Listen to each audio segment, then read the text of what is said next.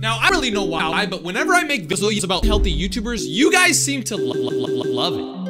Like on December 24th, 1993, I made a video about one of the most healthy YouTubers ever. This guy was just hanging about hot stuff down his throat. Absolutely obliter, litter, litter, litter, litter, litter, litter, litter. That video has three views. I don't know why you guys like when I react to nasty YouTubers. You haven't heard of this guy or seen this guy. I'm so silly. This video right here says a cheesy McDonald's.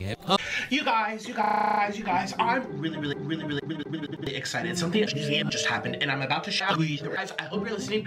He's just rambling about all this other stuff. French fry number one. He starts pulling a bunch of stuff. Uh, French fry number one, one, one, one, one, one, one, one, one, one. French fry number three. Large French fry. Four large French fry.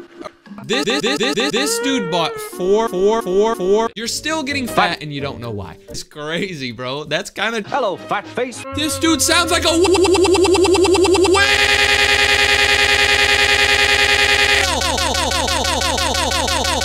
This seems to have sure. No, it's not. That's Taki Noodle. Look at that. Yeah, will not ever want to see this guy's face again, so I don't think I'm gonna ever have another video like this again. And the video ends.